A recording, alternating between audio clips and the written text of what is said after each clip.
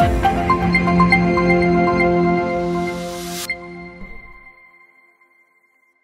На протяжении года команда репортера занималась работой, привычной для средства массовой информации, которая дорожит своей аудиторией, репутацией и именем. Мы рассказывали, показывали, старались не опаздывать и делать красиво. Не занимались самолюбованием, не рапортовали о многочисленных победах, но помнили, что наша главная задача – это создание обратной связи между избирателями и избираемыми.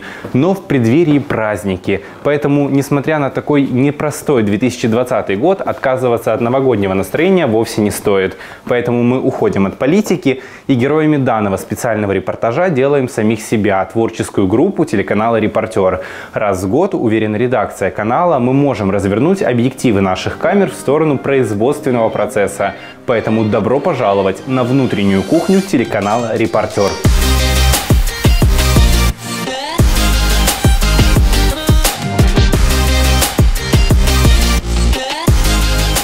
Мы переходим в Newsroom. Это комната, где сначала новое зарождается, а потом уже обретает ту форму, в которой вы видите ее на своих телеэкранах. Ну что ж, проходим. Сейчас мы поговорим с одним из редакторов новостей на телеканале «Репортер» Константином Гречаным. Расскажи, как создаются новости целом? Э, добрый день. Вот дневные новости у нас разбиты на 5 блоков. Э, первый блок, сейчас я как раз проверяю второй, украинский блок. Э, первыми приходят, у нас их отписывает вот журналист специально, который заточен под это дело, который следит за лентой, да, ну и мы, редакторы, безусловно, следим тоже. Третий, четвертый блоки – это международка. Первый – это Одесса. То, что снимаем непосредственно мы корреспонденты репортера, да, э, вот, и первыми мы закрываем международку, потом идет одесский блок, который, новости из которого расширяются, дополняются, и, собственно, вот из них потом формируется наш вечерний выпуск новостей с нашей прекрас, прекрасной ведущей Ксенией Жаровой, и вот э, одесситы уже видят вот законченный продукт, да, но э, если мы все будем заточены исключительно под вечерний выпуск новостей, тогда теряется оперативность. Для этого нужно нужен как раз вот одесский первый блок, который в три часа мы стараемся закрыть, чтобы э, зрители телеканала «Репортер» первыми узнавали самые главные новости нашего города.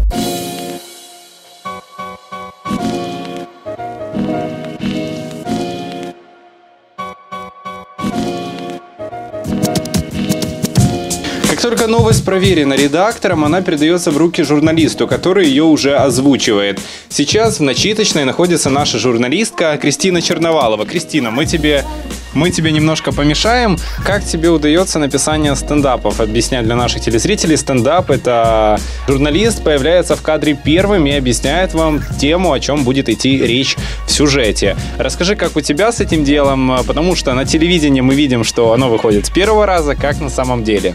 Я пишу стендапы долго, это правда. Э, у меня зависит мой стендап от того, с каким оператором я пишу стендап. Я не знаю, как это объяснить. Есть э, операторы, просто с которыми ты постоянно смеешься во время съемки, и ты не можешь сосредоточиться. А есть, которые это с первого раза прочитал, запомнил, сделал, ушел. То есть э, кто-то посмеется, кто-то скажет неправильно, но у меня стендапы зависят напрямую от оператора и от его работы. Я забыла. Сейчас. Новый 2021 год в Одессе уже, э, я еще раз, где уже традиционно наряжают елку, еще раз. Новый 2021 год в Одессе уже... Мой самый первый сюжет на канале был про камни баланса. И дался он мне не то чтобы сложно, скорее сложно эмоционально. Я очень вспыльчивый, очень резкий человек, и на такой съемке приходится расслабиться, все отпустить и немного задуматься о том, что иногда эмоции бывают лишними, хотя в нашей работе они и могут пригодиться. Самым сложным для меня до сих пор остается импровизация. Когда впервые пришлось выйти в прямой эфир во время выборов, было страшно, было неловко, но многие все, все же сказали, что получилось. Я им не верю, но получилось. Наверное, да, да. Не тяжело.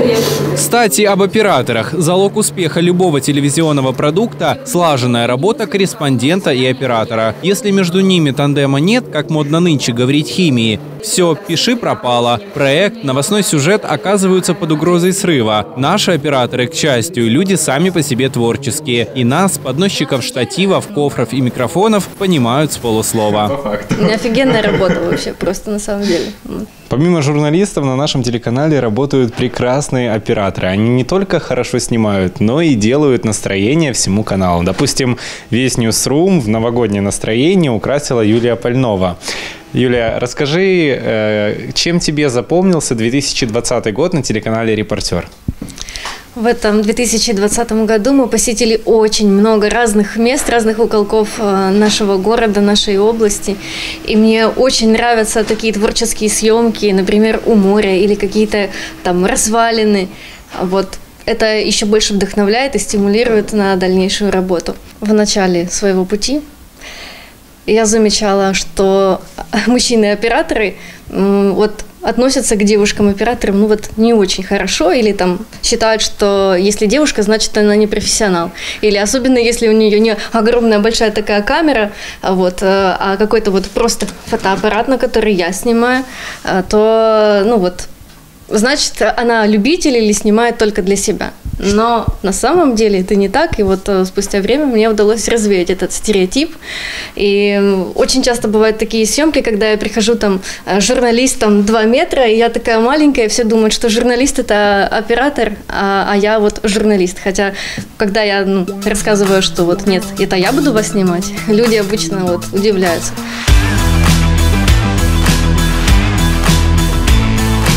А вот познакомьтесь, это наш монтажный цех. Именно цех бывало покидали наши ударники труда глубоко за полночь. Наташа, Валера и Вася также поздравляют вас с наступающим 21-м и надеются, что он точно будет получше 20-го. Наши режиссеры монтажа немногословные, не потому что они дали обет молчания или в розыске. За них лучше всего говорят дела. В частности, этот материал собрал один из этих моих талантливых коллег. Не будем мешать, держим курс в студию. А сейчас мы находимся именно в том месте, откуда на ваших телеэкранах появляется вот та информация, которую за день накапливают наши журналисты. Сегодня мы пообщаемся с нашей телеведущей Натальей Апарой, которая ведет итоговый выпуск новостей на телеканале «Репортер». Наталья, расскажите, какой этот год был для вас и что можете пожелать нашим телезрителям? А, хочу сказать, что 2020 год был для телеканала «Репортер» особенным. Мы впервые работали в условиях пандемии, продолжаем работать. А, мы пережили выборы значительно обновился кадровый состав телеканала «Репортер». И что очень приятно, сегодня вместе с опытными журналистами, которые работают на телевидении и в средствах массовой информации уже более 10 лет, э, успешно трудятся и молодые ребята. Это студенты факультета журналистики Национального университета, Одесская юридическая академия. Это студенты факультета искусства и дизайна Международного гуманитарного университета. И эти ребята сегодня прекрасно справляются в роли журналистов, в роли операторов, операторов, в роли режиссеров. Конечно, были трудности в 2020 уходящем году, но этот год показал нам, научил нас о том, что если рядом настоящие друзья, если рядом надежные верные единомышленники и такая классная сплоченная команда, которая собралась у нас на репортере, то не страшны никакие проблемы. Три, два, один. Поехали.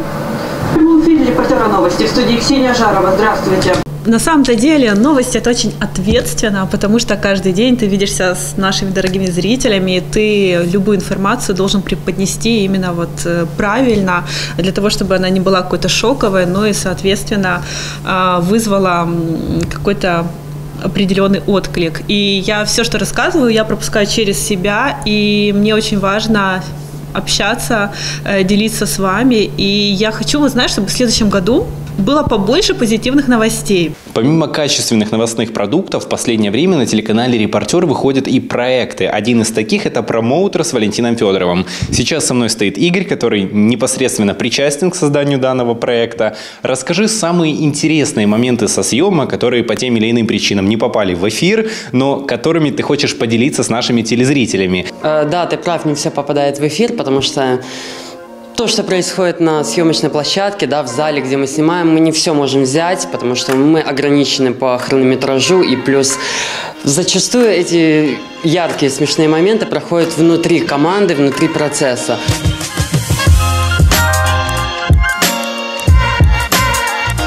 Студию репортера, светлую, а главное теплую, в 2020-м приходили самые разные собеседники – спортсмены, актеры, политики. Главное, это были люди, которым было чем поделиться со зрителями. К слову, как и нашим ведущим.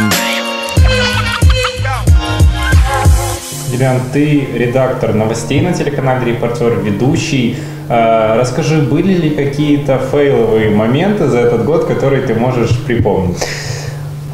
Их очень много, но на памяти, может быть, не самый уместный, но помнится мне, а, я попал в собачий приют, у меня был стендап, связанный с тем, что э, так как-то звучало, что на меня уставлено столько-то пар глаз, а, к сожалению, оказалось, что одной собачки всего лишь он один, а я назвал четное количество. Скажи, сложно вообще ли работать с гостями в студии, потому что люди бывают разные, с разными темпераментами, темпераментами характером? Да, да, да, это очень сложно. Ты здесь не только ведущий, но и психолог, у которого буквально до момента включения камеры есть 5 секунд понять, если гость впервые у тебя, что это за человек. Есть люди, которых, что называется, нужно вытягивать, хотя они сами по себе интересные спикеры. Есть люди, которые очень сильно закрываются, зажимаются, как будто бы набрасывают плащ-палатку на себя и больше ни слова не хотят говорить, э, потому что здесь камеры, их нужно раскрепостить пригласить, настроить на этот лад такой доверительной беседы у костра. Но есть люди, которых тяжело остановить, и нужно вовремя, как опытный водитель на скользкой дороге, притормаживать. Как и в любом оркестре есть свой дирижер, так и телеканал «Репортер» звучит под руководством главного редактора Виталия Хемия. Да и этот специальный новогодний репортаж не получился бы без его правок и дружеских наставлений. Все-таки человек почти 15 лет в профессии может позволить. Год э, вызовов, год новых скажем так, вершин, которые нужно было покорять. Покорять мне, как с одной стороны педагогу и редактору, покорять коллективу, э, людям, которые в профессии, как говорил мой бывший главный редактор, без году неделя, но есть старания, есть желание. У нас есть желание помогать, есть желание учить с другой стороны, чтобы мы, в общем-то, были таким вот монолитом и э, радовали нашего зрителя. Зритель у нас есть. Э, не так важно, как мы, наши зрители, получают информацию от нас. Это может быть телеящик, да, может быть там гаджет, там что угодно. Но главное, мы создаем телевизионный продукт, и благодаря там, технологиям 21 века, 20 века этот телевизионный продукт, продукт не стыдно показывать. А люди, которые его потребляют, нам благодарны, это главная наша награда. И пожелания нашим телезрителям, вот э, что бы вы хотели пожелать, э, э, как им провести следующий 21 год? или встретить его. Подальше от больничных палат, самое главное пожелание, оно актуально не только в 2021 а, году, но и вообще. Мы будем стараться делать так, чтобы вы, живя в 2021 году, не ощущали себя в информационном вакууме. Не получать информацию вообще никакую, но это, наверное, хуже одиночества. Вот такой он необычный, креативный и дружественный телеканал «Репортер». Дорогие друзья, мы желаем вам счастья, любви, мирного неба над головой и здоровья вам и вашим близким. Пусть 2021 год будет намного лучше 2020. С Новым годом, дорогие телезрители! Василий Базовлук, Герасим Олесенков, Константин Нищерет, телеканал «Репортер».